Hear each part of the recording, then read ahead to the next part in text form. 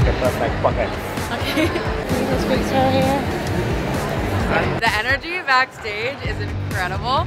I cannot wait. I'm excited. I feel hot, you know? I want to go show everyone. It's an honor to working with Naomi Campbell. This is really like a big thing for me. Okay, you got the, the band? Yeah. Did you want to sit at the back of the coat?